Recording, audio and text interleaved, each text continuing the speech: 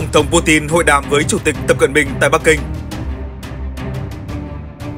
Ukraine giăng bẫy chờ Nga ở phía sau Volchan. Nga triển khai pháo phản lực giữa đường, hóng loạt rocket về hướng Kharkov.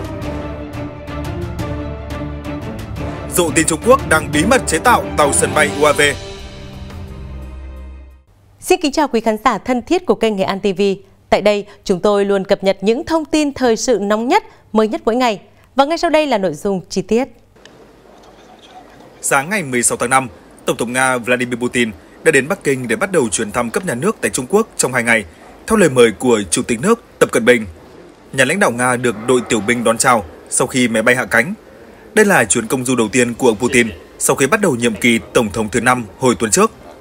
Tại Đại lễ đường Nhân dân ở thủ đô Bắc Kinh, Chủ tịch Trung Quốc Tập Cận Bình đã có cuộc hội đàm với Tổng thống Nga Vladimir Putin.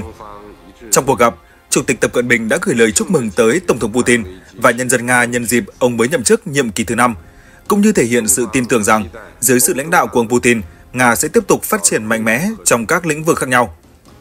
Ông Tập Cận Bình cũng đánh giá cao mối quan hệ Trung Quốc-Nga hiện nay và tuyên bố rằng hai nước cần tiếp tục mở rộng mối quan hệ đối tác này. Theo ông, Trung Quốc sẵn lòng hợp tác với Nga để duy trì một môi trường hàng xóm hòa bình và một đối tác đáng tin cậy, đồng thời tăng cường tình bạn lâu dài giữa hai dân tộc và cùng nhau thúc đẩy sự phát triển và khôi phục đất nước. Trong khi đó, Tổng thống Putin cho biết quan hệ giữa Nga và Trung Quốc đã có một nền tảng hợp tác vững chắc và Bắc Kinh được xem là đối tác chính của Moscow trong lĩnh vực thương mại và kinh tế.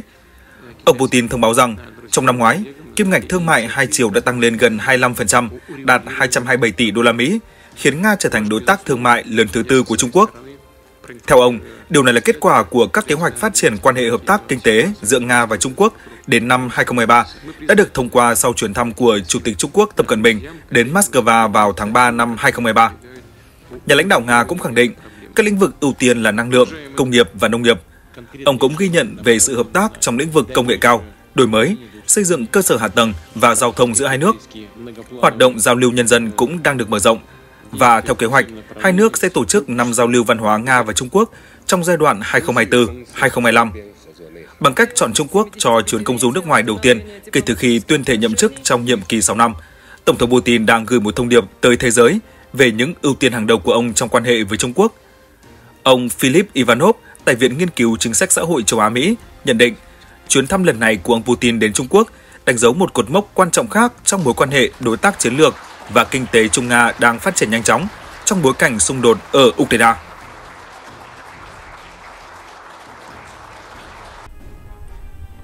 Sau gần một tuần giao tranh, quân đội Nga đã giải phóng một loạt khu dân cư ở vùng Kharkov, bao gồm cả hai thị trấn chiến lược là Volchan và Lukiansi. Hiện tại, phía Tây và phía Bắc của Volchan đang nằm dưới sự kiểm soát của lực lượng vũ trang Nga.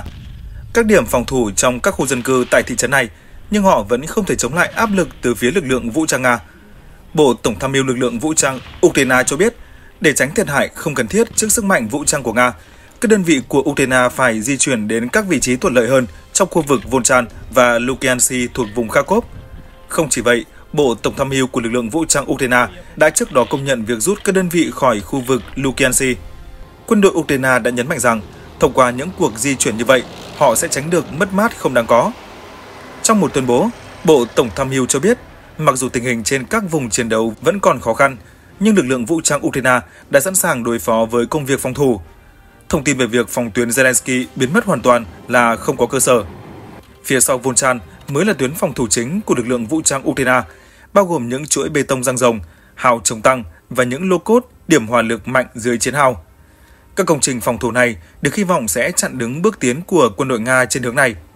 Trước đó, Bộ Tổng tham mưu của lực lượng vũ trang Ukraine đã thông báo về việc gửi quân tăng cho mặt trận Kharkov với các lữ đoàn chính được rút ra từ các mặt trận Donetsk, Zaporizhia, Kherson và Odessa cùng với các xe tăng chiến đấu chính của Đức Leopard 2 và Thụy Điển CV-90. Theo thông tin từ truyền thông Ukraine, đã có tới 54.000 quân được điều động từ các mặt trận phía đông và phía nam đến gia cố cho các vùng phía bắc của đất nước. Trong số đó, 12.000 binh sĩ đã được triển khai trực tiếp đến các khu vực chiến đấu ở Kharkov và dự kiến 17.000 binh sĩ khác sẽ được gửi đến Sumy. Chỉ tính riêng ở mặt trận Donetsk, Bộ Tổng tham mưu của Ukraine đã ngay lập tức điều động 3 lữ đoàn 95, 46 và 82 đang bảo vệ xung quanh thành phố chiến lược Chasovia để hỗ trợ cho mặt trận Kharkov. Điều này khiến các chuyên gia bất ngờ, bởi thành phố này cũng đang chịu sức ép và tấn công mạnh mẽ từ quân đội Nga. Việc Bộ Chỉ huy quân đội Ukraine chuyển các lữ đoàn đang bảo vệ Chasovia lên gia cố cho Kharkov và Sumy có thể khiến cho phòng thủ thành phố này trở nên yếu hơn, dễ dàng bị quân đội Nga bao vây trong một cuộc chiến mới.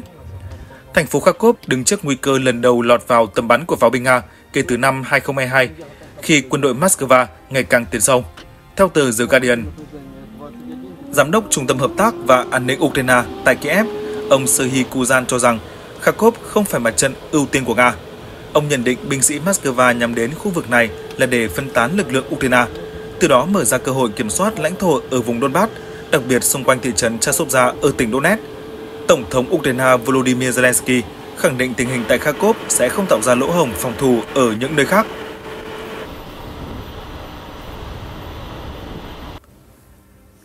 Pháo BM-21 Grad của Nga đã được triển khai giữa đường để phóng loạt rocket về hướng tỉnh Kharkov của Ukraine, khiến đoàn xe dân sự ùn lại. Theo đó, ngày 15 tháng 5, các tài khoản mạng xã hội ủng hộ Ukraine chia sẻ video về việc triển khai pháo phản lực tự hành BM-21 Grad trên đường. Xung quanh là nhiều xe ô tô dân sự chật kín xung quanh.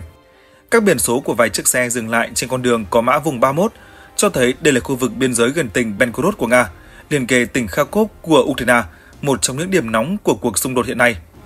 Pháo phản lực Nga đã cản một phần đường đi, liên tục phóng rocket lên bầu trời, trong khi các phương tiện xung quanh đứng chờ đợi. Một số tài khoản đề cập đến cuộc tấn công nhắm vào tỉnh Kharkov, nhưng mục tiêu cụ thể mà Moscow nhằm tới vẫn không rõ ràng. Hiện Bộ Quốc phòng Nga chưa đưa ra bất kỳ bình luận nào về thông tin này. Theo thông tin từ Kiev Post của Ukraine, việc Nga tiến hành tấn công từ các con đường dân sự mà không có sự sơ tán trước đó hoặc ít nhất là không lập rào chắn xung quanh khu vực này sẽ khiến lực lượng của Kiev không thể phản kích mà không gây ra thiệt hại ngoài dự kiến cho dân thường. Kiev Post nhấn mạnh, sử dụng dân thường như một lá chắn trong xung đột là một tội ác trong xung đột. Tuy vậy, Ukraine cũng đã phải đối mặt với sự chỉ trích tương tự. Tổ chức Ân xá Quốc tế vào tháng 8 năm 2022 đã cáo buộc lực lượng của Kiev gây nguy hiểm cho dân thường khi thiết lập căn cứ và triển khai vũ khí tại các khu vực có dân cư đông, bao gồm các trường học và bệnh viện. Tổ chức này tuyên bố các chiến thuật này vi phạm luật nhân đạo quốc tế và biến dân thường trở thành mục tiêu quân sự.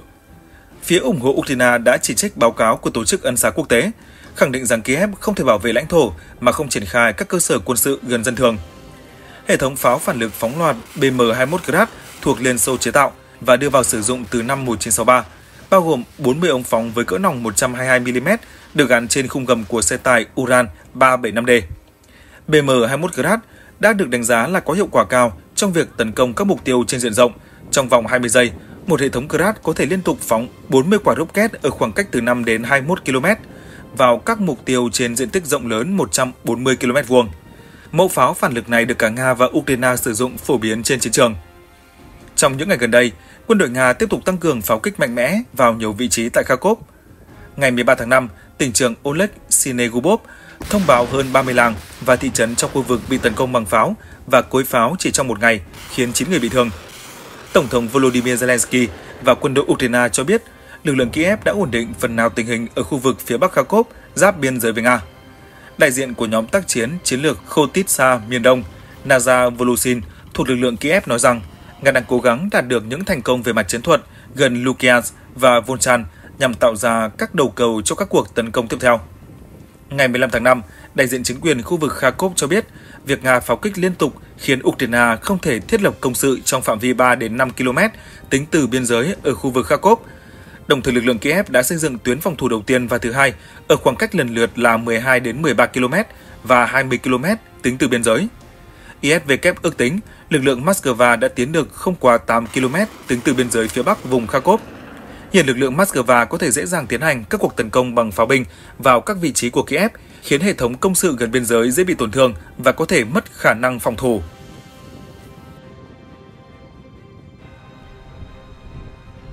Hải quân Trung Quốc dường như đang phát triển chiến hạm tương tự tàu sân bay nhỏ, được thiết kế đặc biệt để phục vụ cho đội UAV tầm xa của họ. Ngày 15 tháng 5, Dựa trên ảnh vệ tinh mới, chuyên gia hải quân H.I. Sutton nhận định. Ẩn mình trong xưởng đóng tàu ven sông Trường Giang, cách xa các cơ sở lớn hơn ở Thượng Hải là tàu sân bay mới của Trung Quốc. Đây là tàu sân bay thứ tư của Trung Quốc, chưa từng được nhắc tới trước đây. Chỉ có Trung Quốc mới có thể chế tạo tàu sân bay một cách tương đối bí mật. Hồi đầu tháng này, Hình ảnh vệ tinh cho thấy con tàu này có tháp chỉ huy nằm phía trước bên phải, với một phần bong rộng phẳng phù hợp với kiểu dáng của tàu sân bay.